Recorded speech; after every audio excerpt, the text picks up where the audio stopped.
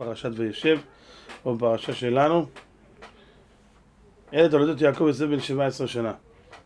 היה רואה את אחיו בצאן. אומר רש"י, כמה פירושים למילה לתולדות יעקב יוסף. אחד הפירושים אומר שיעקב יוסף הוא היה זיו איכונין של יעקב אבינו, דומה לו בקלסתר פנים.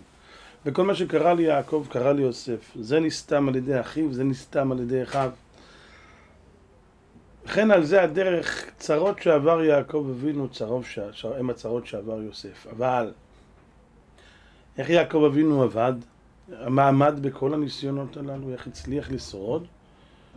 ודאי על ידי אותה תורה שהייתה מלווה אותו לכל אורך הדרך, וזה הפשט גם, אם לבן גרתי תרי"ג מצוות שמרתי. התרי"ג מצוות הם ששמרו אותי, אני שמרתי אבל הם שמרו אותי. שמרתי, נשמרתי.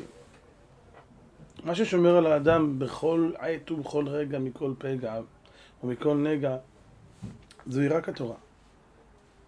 רק התורה. ואת זה יעקב אבינו העביר ליוסף. הוא העביר לו, כי בן זקונים הוא לא. אומרים זקונים, זה ראשי תיבות אה, של בן זקונים זה זרעים, נזיקים, קודשים, זרעים, נזיקים, זרעים, קודשים, נזיקים, ישועות, מועד, כל התורה העביר לו. למה?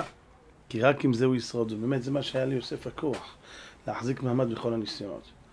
אין בעולם כוח שיכול להחזיק את האדם בכל ניסיון, שלא יהיה קטן כגדול.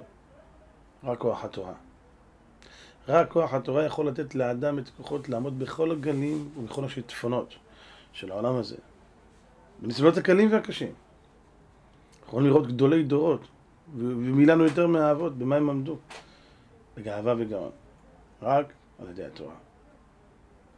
אין לנו שיעור על התורה הזאת, אין לנו משהו שיכול להחזיק אותנו ולנחם אותנו בכל מקום, בכל מצב, בכל עת, על התורה. חזיק חזק בתורה הקדושה, עץ חיים מן המחזיקים בה, נזכה לגאולה שלמה, אמן ואמן.